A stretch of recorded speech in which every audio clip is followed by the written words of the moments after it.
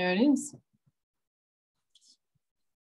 Um, yes, so I'm now going to uh, hand across to um, Paul Pangaro, who's going to be giving us his talk on countering code with code, responding to the pandemic of today's AI. Thank you, Dee. Thanks very much. And thanks to all of the graciousness of the ISSS, to the American Society for Cybernetics, and also thanks to Jen Marker for being wonderful teammates. Um, and thank you all for coming. Uh, my goal today is to talk about countering with code. It's a rather specific idea. It's still in formulation. And it's intended to uh, respond, as the subtitle says, to the pandemic of today's AI. The title of the conference, of course, is uh, The Art and Science of the Impossible. I, have sometimes been accused of wanting to achieve the impossible, so I, I feel very comfortable here. And uh, perhaps you'll see why I reference that now. Uh, but I assure you, I'm a pragmatist. I'm not an optimist. I stand here in, in Pittsburgh, Pennsylvania. It's a sunny day. I'm Carnegie Mellon, as Dee said, and I hope to persuade you that something can be done. And I will tell you what I think that needs to be done and why, and offer a way how to do it and how the how fits the what. Uh, by the way, these slides, if you wish to follow, can be found at the link below, pangaro.com slash ISSS 2021. You can also get it from my homepage if you're interested now or later. So first, the definition, uh, not just the definition of pandemic, but uh, more than that. You may know that the word pandemic, pan, all, demos, Greek word for people, uh, but in the context of pandemic and demos, it doesn't just mean people, people, it means people in your neighborhood, people in your community, people you're in touch with. And for me, this word describes what the internet and digital devices are doing today. 4 billion people, sounds like everywhere to me. Um, and today's AI is inside of the technology that we touch every day. And my feeling is, and I'm not alone, is that today's AI foments all kinds of nasty things polarization, capitalistic purchase of products, social bias, and it's surveilling, of course. I'm not saying all AI is bad, but I'm saying today's AI, as it is everywhere, is not a good thing. And the impact is growing every day. So what about this? What uh, might we do? Well, these are the things that AI is doing. And ultimately, it's making the world we see and the world we live in. And my worry is that human purpose is lost. It's in all of these systems and more. And of course, it works with code, right? It's all software. And part of my argument is that code is a codification of values, points of view, biases, all kinds of things. And that that's what's inside our machines. And with AI inside, this has caused a pandemic.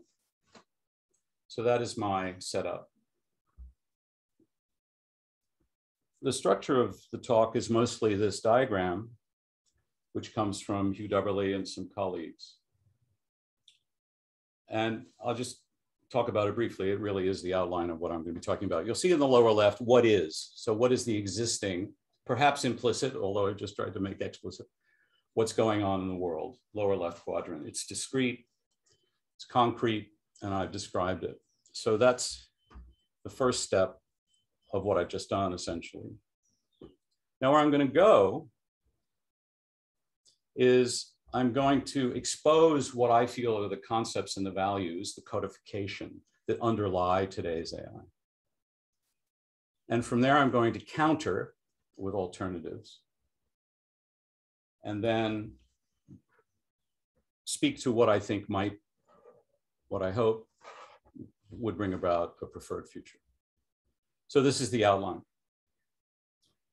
I've described the initial conditions, if you will, the current situation that uh, I believe needs attention, and I'm not the only one who says that.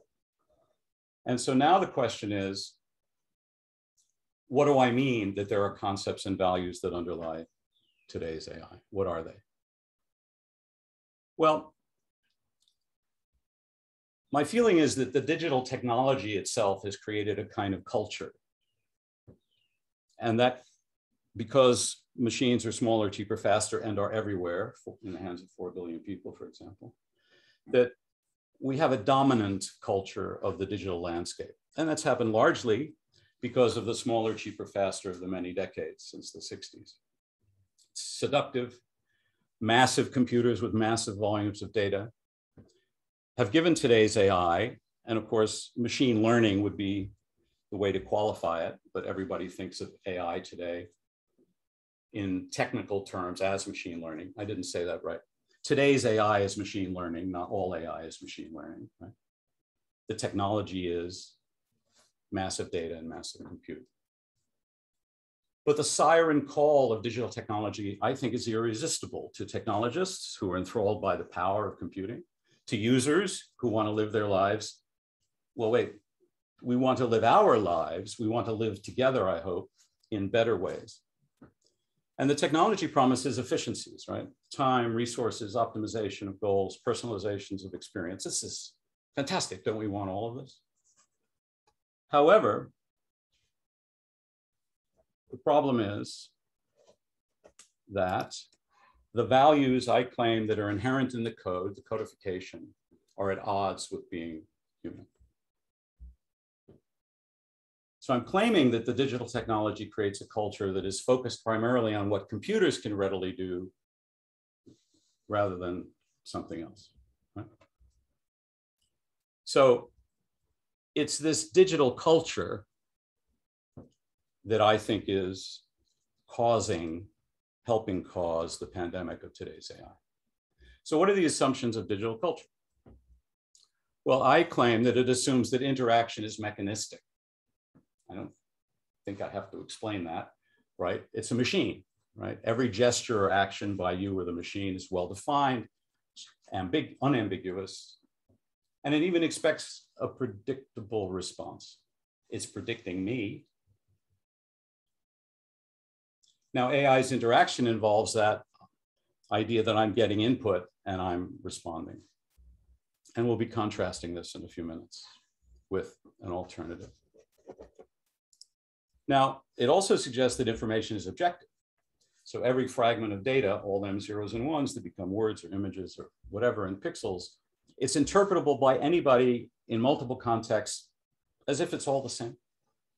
So information in quotes becomes a commodity that can be captured in binary data and reused fluidly, so-called, as if. Thirdly, digital culture assumes that intelligence is a process that sits inside a computer, right? So what the computer knows is what's important, what's held inside. It doesn't matter so much that it's connected to something, but rather that it's smart, smart home, smart fridge, smart computer.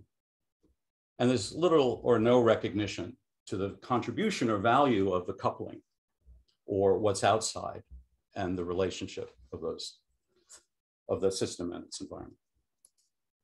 So therefore, it assumes that human behavior can be generalized and predicted. The consequence of having interaction as mechanistic in the, in the digital culture is this. Similarly, if you offer the same option to many, many different people, it has the same meaning. And as you might expect, machine prediction is intelligent on its own. So we don't have to question it. We don't have to say, wait a minute, I'm not sure about that. By the way, who's doing the assuming here is a topic all its own. But let me move ahead with some examples. You all know Google PageRank, right? Google gives you a result, but you can't ask why it gave you that result. Well, you can ask what its ranking algorithm uses. Oh, it uses reviews and recency and this and this and that and that. But that doesn't tell you why it's giving your answer now. YouTube up next, it queues up the next thing for you to look at. has an algorithm that's trying to optimize engagement, trying to keep you there, trying to hold on to you no matter what. But you can't question it. You can't say, why'd you give me that? And you can't say, well, give me something a little different in the following way. Similarly, the Facebook feed, you can say, no, I don't want to look at that. You can mute people, but you can't define the things you want. It's making a lot of assumptions. It's deciding for you. So these aspects are the consequence of the codification. And this codification enshrines values that control outcomes. Now, let me give you a specific example. I call this fondly the parable of Luigi's Pizza.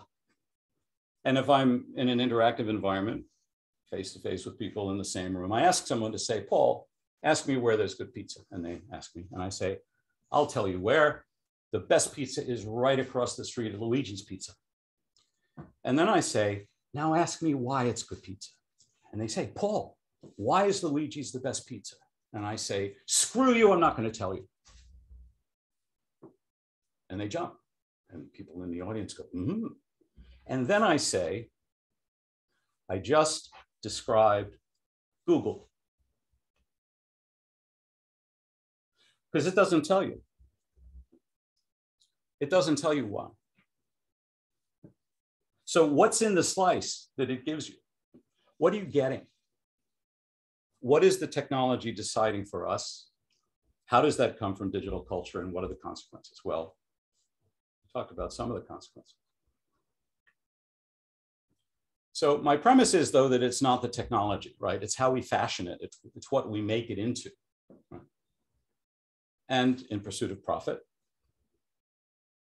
it's a big bag of worms right there we build these engines and they dazzle us and they addict us and they get us into doing things that we may not want to be doing. But this is not the only option. I claim that we can shift technology from the digital assumptions that I went through, interaction, information, intelligence, back toward our analog roots, our physical selves, our organic and biological and social selves. So can we make such a shift in our algorithms back to being human, back to novelty and choice, transparency and conversation? And can these become the core principles of a new AI, of a new today's AI? So this is my counter. My counter is to upset the dominance of these, don't you love this phrase? Pernicious algorithms we must design and propagate a new set, a humane organic set. And right now I'm calling it analog interactional frameworks. Don't love it, has the right flavor, not necessarily a, a, a bumper sticker. We're working on that though, believe me. So what do I mean by that? Well, let's look at this idea of countering the culture of digital with the culture of analog. So a little sidebar here on digital versus analog culture. We know that digital culture is binary, right? Zeros, ones, nothing in between. Well, of course, you can have a lot of zeros and ones in a, in a really wide word, as it's called. And so you can get gradations from zero to a million. It's not quite the same, though, as being biological, being, being biological. Binary, of course, also implies inert. As I was saying earlier, you've got a piece of data, the data is static. That's, that's what we need and we can purvey it everywhere. But if we're biological, we're fluid in many senses. We're able to change. We wish to change. We want to know who we might become. Similarly, you could argue that digital culture is inflexible and analog culture is malleable.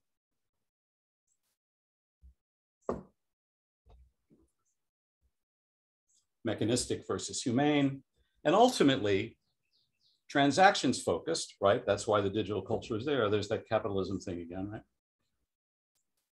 Wants us to buy things or interact, wants to keep us engaged such that it has our minds.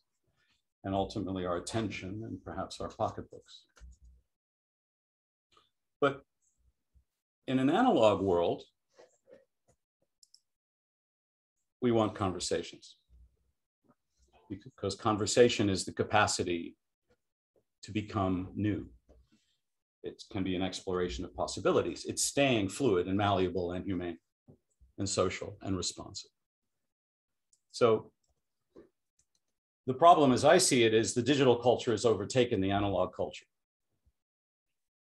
and it's kind of wiped it out, at least in the technology. Yes, you can talk to your friends, you can do all those other things, but the dominance is still there, and I have a problem with that. But the two cultures are fundamentally different, right? They don't equal one another. There are some advantages in digital, right? We want the flexibility. We don't want equivalency, right? We want to maintain this difference. But we want a, what I would call an appropriate recursion. We want an interaction. We want a constant fluidity, if you will, back and forth, kind of metaphorical circling through to keep what we want as analog creatures, to take advantage of what we can and don't sacrifice from doing from the digital side, and then to come back again. But how do we do this? Where do we start? Well, it won't surprise many of you. I think we can start from cybernetics, but why, right? I have to justify this. Now I'll show you very quickly some slides that I don't expect you to absorb.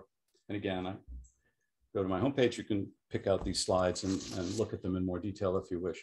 But you know, cybernetics has been all over neural nets and AI for a long time. So cybernetics is not new to the party of neural nets. Neural nets is machine learning? Neural nets came before AI.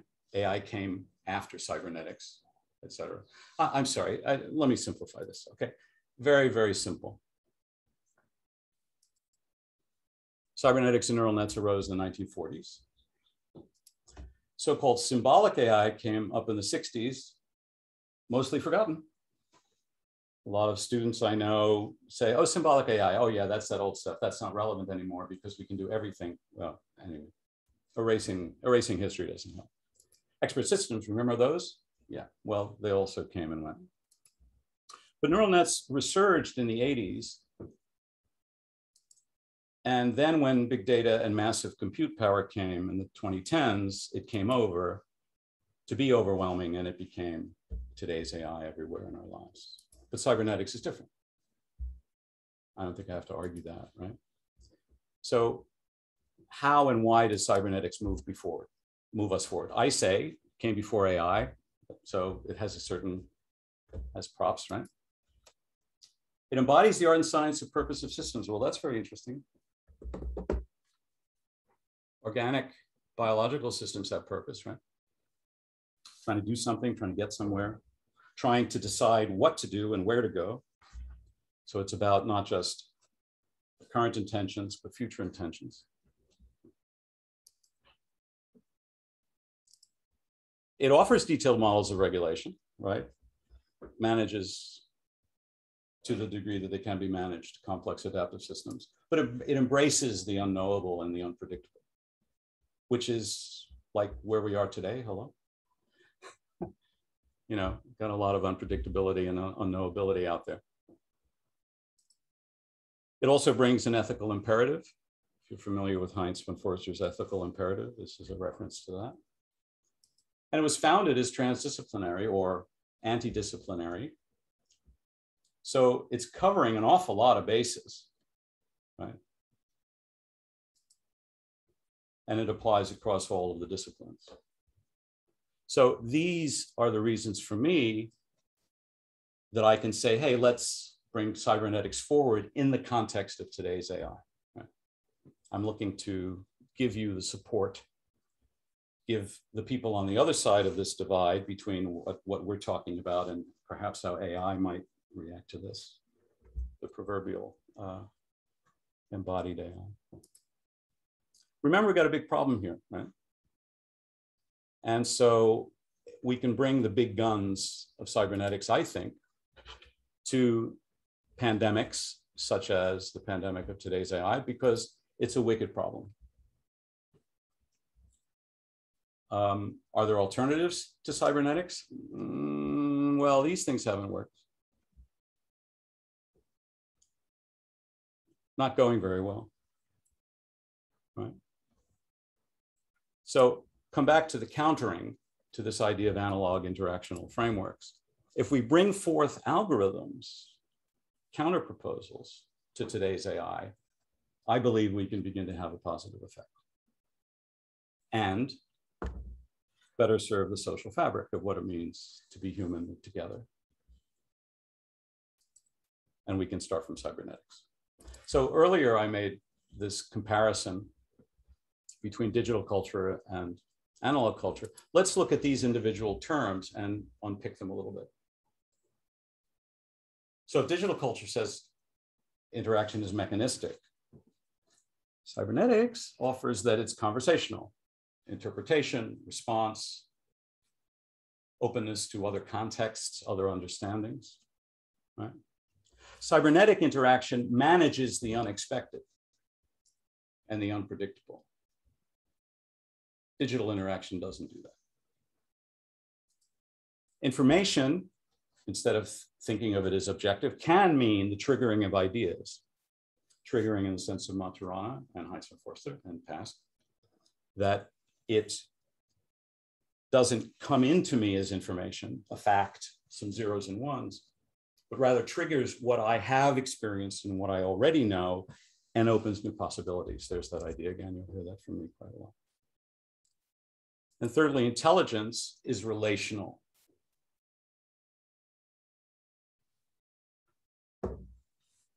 I'm sure you know the actor John Cleese, who was being interviewed once. And at the beginning of the interviewer, the interview is completely funny. Oh, Mr. Cleese, you're a very, very funny man. And Cleese frowns. He won't have any of it. He says, No, I don't think of it that way. It depends on who I'm with. So, in the same way, being a funny person, being intelligent, it depends on who I'm with, right? It's a relationship.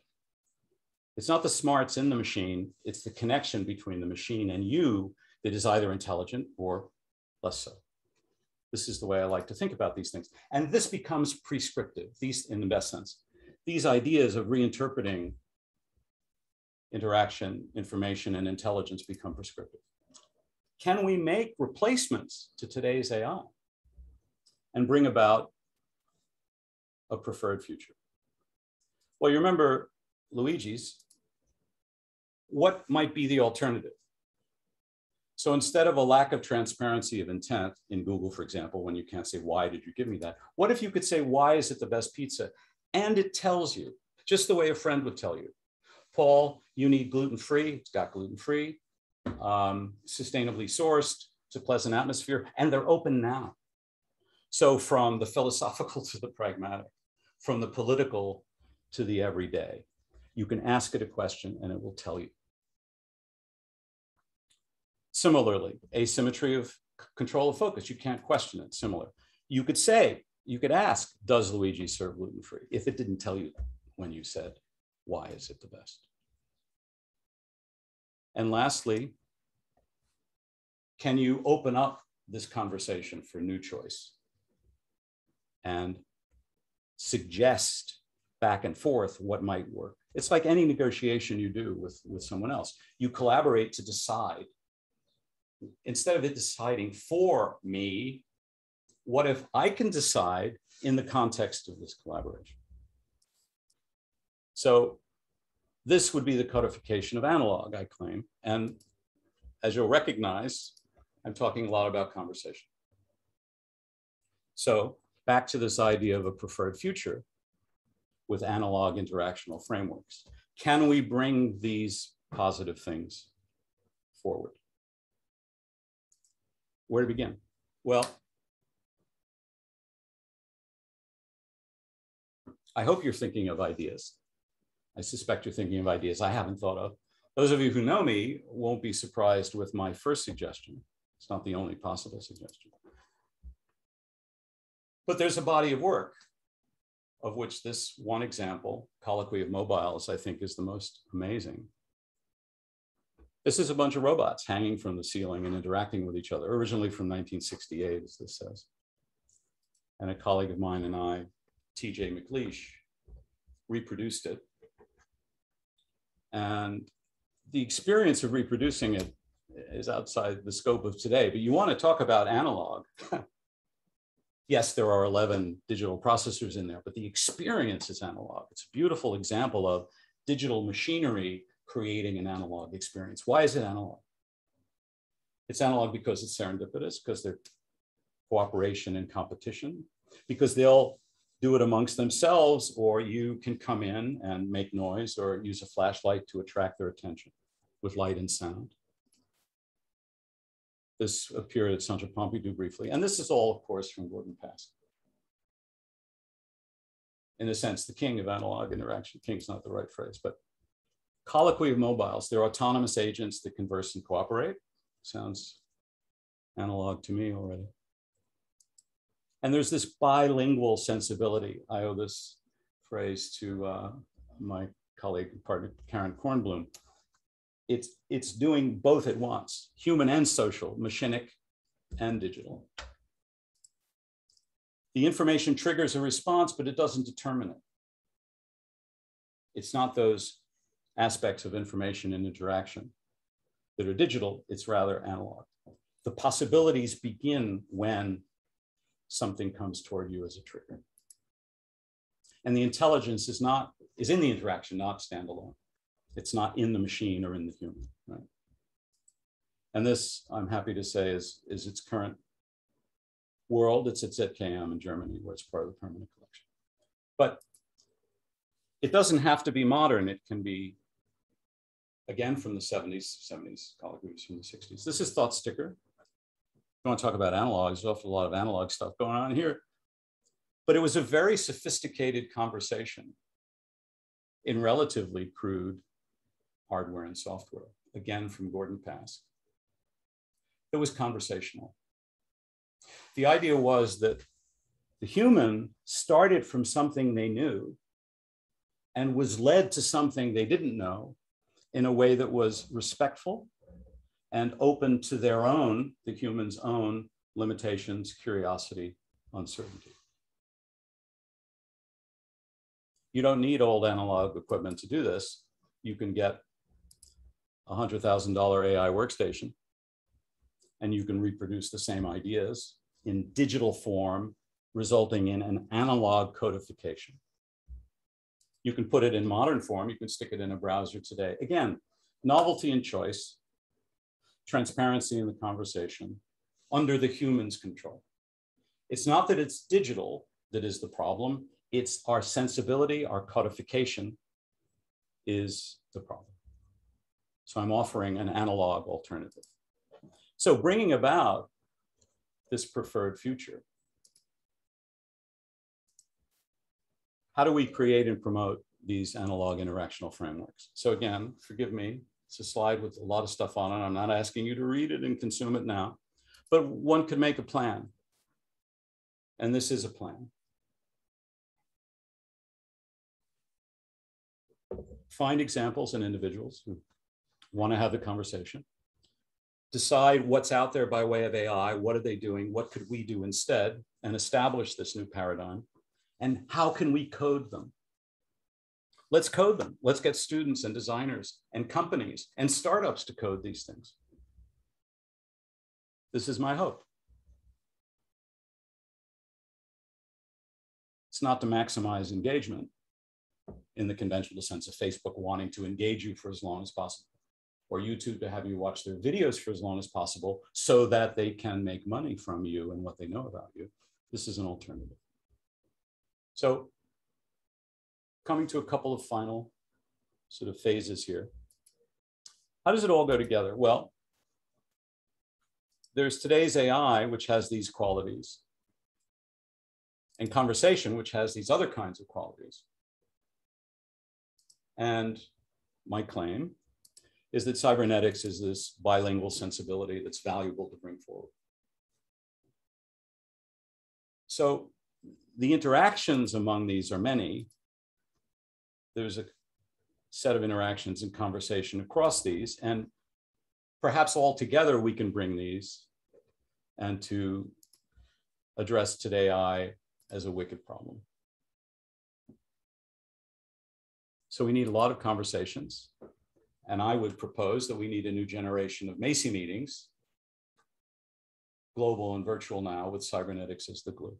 So I suspect most of you, if not all of you, know about the Macy meetings. They took place in the 1940s, 50s. Many, many experts. Yes, it was not necessarily a diverse group, but it was an intelligent conversation that occurred, and they started a revolution. I would claim it was largely because of the Macy meetings that cybernetics had the influence that it had. And that was the birth of the field. Again, about systems with purpose. Now, these original Macy meetings changed the worlds of science and engineering and humanities.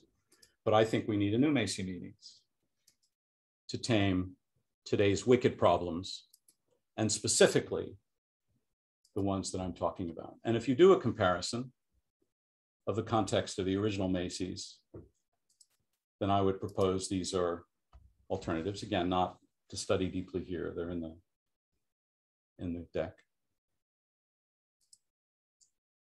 We've been active in this for a bit over a year. I started talking about this in March of 2020 as the pandemic hit number of wonderful individuals, only some of whom are credited at the end, have been involved. We've had some experiments, I've done some presentations, there are some documents to read, and we're on the right side now advancing a plan. You saw some of that in the earlier slide. Let's make examples of counters to digital algorithms and let's get them out there. This is as pragmatic as I can be. This is using what I know and taking cybernetics as a basis to bring forward things. I'm particularly interested in Gen Z. So on a prior slide, it went by quickly. The original Macy meetings were transdisciplinary. Yeah, we got that, transdisciplinary. That's what we do. But also transglobal and diverse and transgenerational. We're right now reaching out to small groups to understand better what the worldview is of people of that age and to bring them into the conversation. And I'm also seeking to build a network network of organizations and individuals and continuing to build the advisory council. These are the current members of the advisory council, beginning to be diverse, more to go, more to follow. So I'm almost done, and I would like to open it up to your critique and your suggestions, and perhaps even your participation. But first, let me just recap. Today, I've argued that digital culture is a problem because that's what is inside of today's AI, and it's one of the things that contributes to the pandemic. Human experiences of these very important ideas are compromised. These three I's, interaction, information, and intelligence, become a kind of place to start, if you will. It's the place where I started and my colleagues have started. I'd love to hear other places to start and other ways to go from here. And to build on top of alternative definitions of those three I's to create interactional frameworks that are organic and conversational and humane. I claim that cybernetics offers a basis for this, a bilingual sensibility to bridge the analog and the digital. And we're not just going to talk about it, we're going to build stuff and put that stuff out there. Offer it to curricula in interaction design, service design, design of design, uh, schools, designers, engineers, coders, businesses. And my feeling is the urgency of all of the above means that we need to convene new conversations in a new network. If we don't, who will? So let's bring about this rich mesh of collaborations across all of these distinctions that we don't want. We want the diversity and range. But let's also be deliberate about what we wish to conserve, invoking Maturana here. What do we want to keep before we make something new? What do we want to conserve as part of our analog and biological roots as social beings? And then use the technology to serve those principles rather than say, hey, what's new? That's great. Let's see. Uh oh, unintended consequences. Anyway, so we're excited to see what can emerge. Please join us. Thank you very much. I'd love to open it up to questions.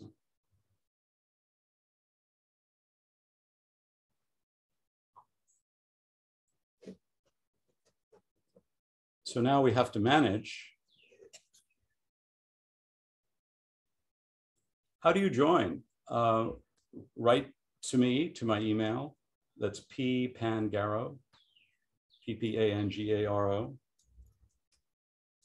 at, whoops, I'm typing on the wrong machine. That won't work. Sorry, hold it. Uh, foiled. That's funny. Give me a moment to recover. There we are again. Okay. I'm going to put my email in the chat. And I'll put you on a mailing list and I'll keep you aware of what's happening next. In particular, not just individuals, but organizations. Because I don't see the network as a hub and spoke or a hierarchy. Uh, I've started this in the context of the American Society for Cybernetics and many of its many of the active people are from that society, but not only. But I don't want the hierarchy. I would like to see many different groups interested in things other than today's AI, other pandemics, other serious concerns.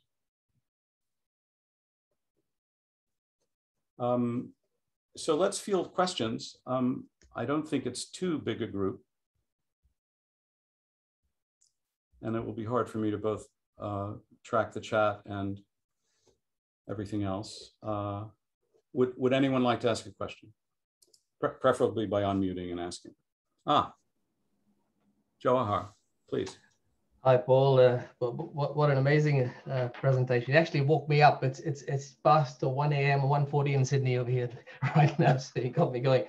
Uh, two, two quick observations, Paul. In, in one of your earlier slides, you highlighted all the failures of society, engineering failed, psychology failed, and so on.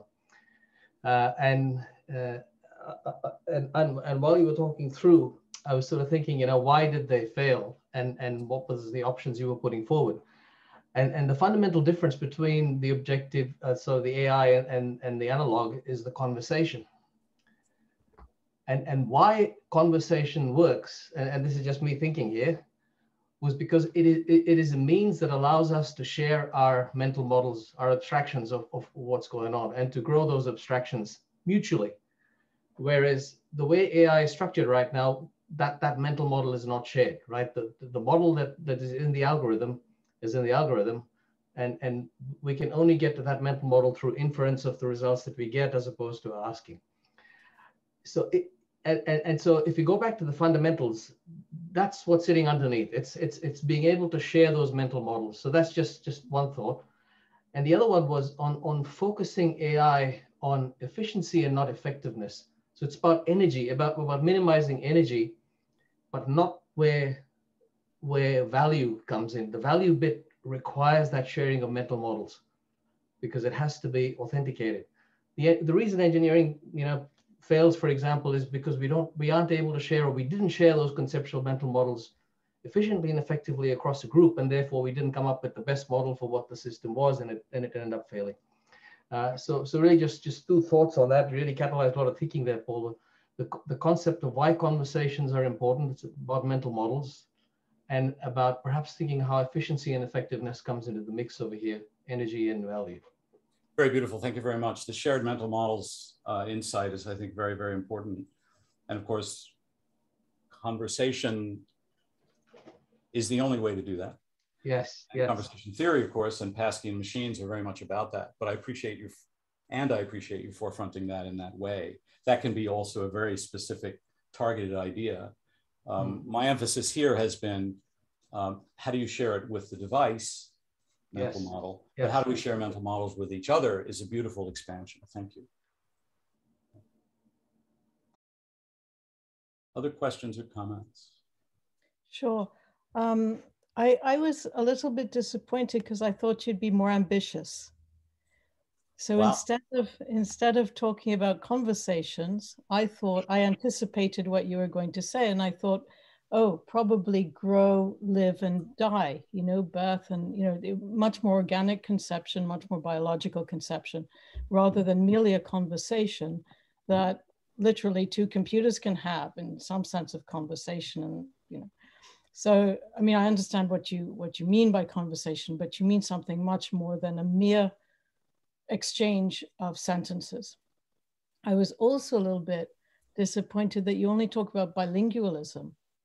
Uh, many people are trilingual, four languages, five languages, six languages. We, we need many more languages than two and not just two at a time. You know, sometimes in Europe, you have a conversation, there's four languages going on around the table and most people understand most of most of those languages. So it's fine.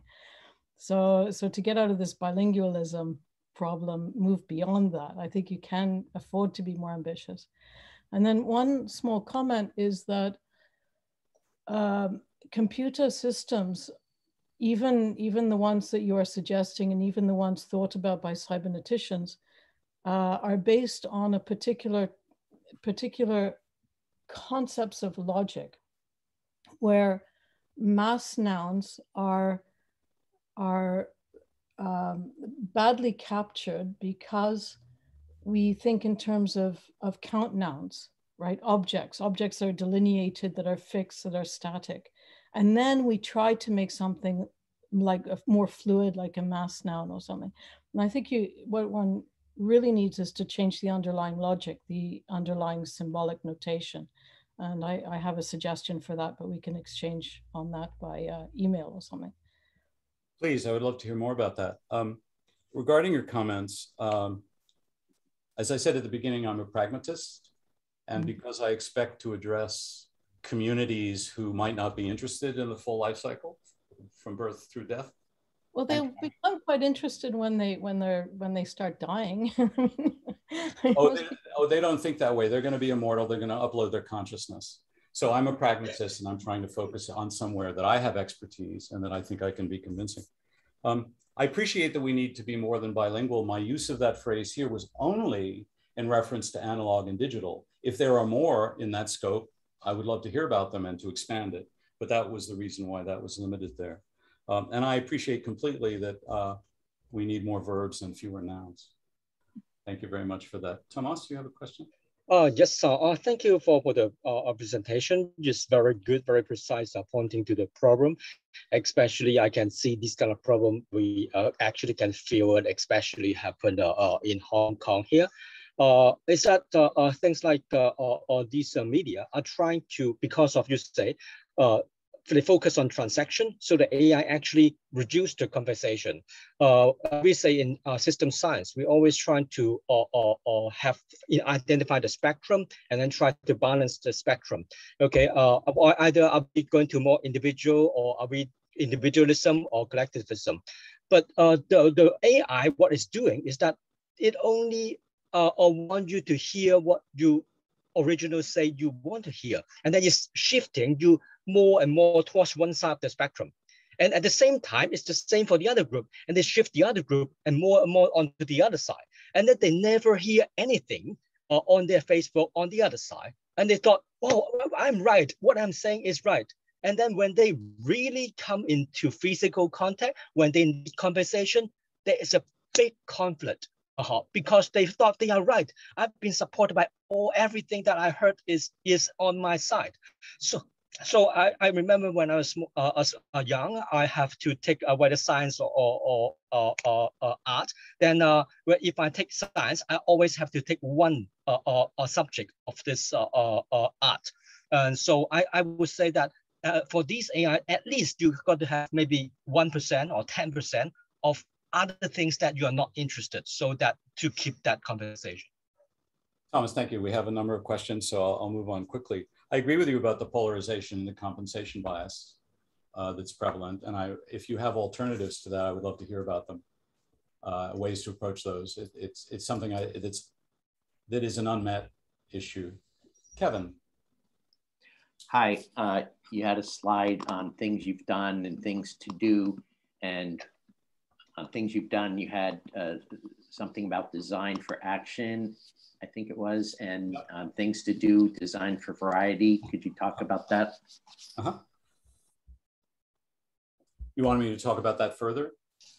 Just, yeah, what did you mean by those two design so, sure. statements? So design, design for variety means, in the Ashby sense, if you're familiar with Ashby, is to design the next conversation with variety in mind. We have some goals for the next conversation. Who do we bring into it? Once we're in that conversation, we might realize along the way that we don't have sufficient variety. That's very likely.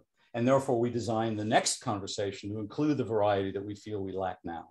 So that's what I mean by design for variety. Um, and I, there's a, I can send you a PDF on that if you want to let me know. Just write to me and I'll send it to you. Yeah, there's um, design for action. Yes. Um, again, a paper uh, between Dubberly and myself called Cybernetics and Design, colon, Conversations for Action and that's available at dubberly.com. And the idea is that the conversations are prompts to act and not just conversations. And I try to exemplify that in this talk by saying, this is what I want to do. I mean, there are many societies, there are many Zoom calls, there's a lot going on and a lot of interest and energy. Uh, my goal is to be the pragmatist who brings it to action. So conversations for action is that metaphor. Thank you. Thank you. Um, James Bryant. Hi, Paul. Thanks for that. It's very, very stimulating. Um, I'd like to suggest that, that, that we consider debunking and getting rid of the term AI. Uh-huh. Because there is no such thing really as artificial intelligence. It's machine learning. And, and, and making the distinction, perhaps by reflection, as to what it is to be human is to actually be able to learn from a greater variety than a machine has because it is limited by the rules and its programming far more than we are as as individuals and and as a species. It just does something really really well. I mean i slightly incorrectly described it but it's like having a machine savant which which is just really good at one thing that we're not terribly good at and it potentially it's it's just an augmentation for some a few things that we just can't do, like massive mathematical calculations of probability. Yes, I love the idea of replacing AI. Um, it's the term of art at the moment, or not art, uh, but also to say that that's recognizable to everyone. And that's what I'm talking about. So when I say today's AI, I mean what people think of when they see that. But I love the idea of removing that as a term or supplanting it in the same way. So thank you for that comment. Yeah, as our counterinsurgency. Say again, sorry. As our counterinsurgency. Fair enough. Rue? Hi. Um, okay, so I was very interested in the point that you brought up around how we define engagement, uh, looking past like uh, social media networks like Facebook and YouTube. Um, so I'm kind of curious what that how we would measure co-creation in terms of um, you know other forms of visual thinking or spatial thinking um, and you also brought up i think you brought up coding as a, a way to measure engagement but how does that how do we um, incorporate ways of engagement that can look beyond these generational and cultural gaps around coding and systems literacy it's a beautiful question. Um, I have a proposal for how to um, measure co-creation. It goes back to the idea of mental models in that if you can capture along the way of a conversation some trace, and if that trace represents the distinctions and relations that people have expressed, then that trace becomes an artifact of co-creation and possibly a measure of where the co-creation came from. Uh, I can send you a particular work on this. It's very crude, but the idea that if you can enshrine, that's a funny way of putting it, ideas into an external form, then you can measure it, right? So I, I, I like very much that you're onto the idea that measuring that is, is very, very important. I didn't mean to say to your second point, um, uh, the only thing I meant to say about code is that we write code to get machines to do things. And there's a codification of ideas and biases and values that are in that. And I just want to be completely conscious of that as we go about it. And I'm proposing an alternative set, an analog set. Does that answer your question Rue? Oh, yeah. I mean, it definitely helps clarify. Um, and I, would love to follow up to read more about your work. Please write. I'd love to hear from anyone who's interested in pursuing the ideas, and I'm happy to offer more materials. Thank you. Elena. Uh, hi, uh, really enjoyed the presentation. Thank you. Uh, my question is, I wonder if there's any potential in looking back at some of the ideas that Gordon had and Stafford had about biological computers now that we're more aware of things like the wood wide web and the potential communication among our gut bacteria. It's a wonderful idea. Lena's referring to this extraordinary work that, that Stafford Beer and Gordon Pask did sometimes together and sometimes apart of using biological creatures, literally organisms, and their behaviors to, for example, in the ultimate uh, idealistic extreme, to control a steel mill. Uh, I'm not making this up. So imagine creatures that normally live in a pond controlling a giant industrial process. That was the nature of those ideas. And they're very, very worth looking at and going back to. Thanks for that reminder, Elena. Robert. Yeah, we had we had a meeting yesterday talking about the, uh, the sort of what I call the disintegration of Western civilization and the problems that we're facing.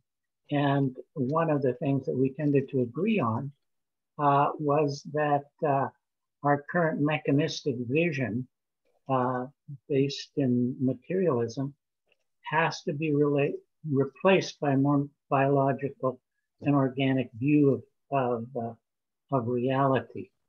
That if you look at the two things uh, that you were talking about, the AI system, what is what, what, are the, what are those characteristics that you describe? They're the characteristics of mechanistic reductionism. And what are the uh, characteristics of a renewed, uh, a renewed uh, internet or AI?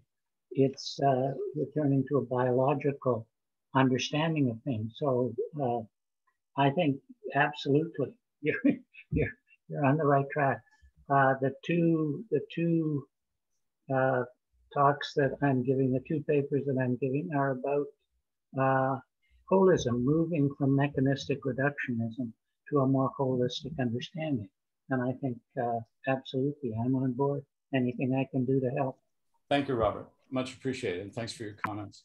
We've been asked to wrap up. Ben, would you like to be the closing comment or question or critique? Critiquer. Sure. Um, it's uh, just an a kind of plus one for Elena's um, biological focus, and just to bring that back to maybe some of the things Michelle was saying. So I think the way you give uh, primacy to conversation as the, uh, in, in your understanding of conversation as the framework, inevitably becomes quite a human-centered framework. And I think within that, I think there are questions about the question of what kind of logic it is, it might be useful to just think of that Bateson thing about different kind, you know, there's we have conscious purpose, and then we have some activities which maybe colloquy is a bit more like. You know, colloquy and the pizza, these are very different kinds of interactions, right? And and colloquy is a bit more like the kind of verb-based logic that Bateson saying where we have that culturally, we're participating in the stories of ecologies, whereas the pizza conversation about the pizza is kind of within the conscious planning framework. And I think that um, reforming the conscious planning framework is important for a number of reasons. But there's some, it's not what colloquy is about, I don't think. So I think you could pluralize your frameworks a bit. No, you've, you've expanded the idea there very much. I appreciate it. Uh, Robert, we really are running over. Is there something else you wanted to say or is that an old hand from you? Old hand, sorry, I should have taken it down. I, I, thought it popped up a second time. Thank you, everyone. I really appreciate your attention. Please write to me and let me know what you're thinking. Please join. Thank you. All the best.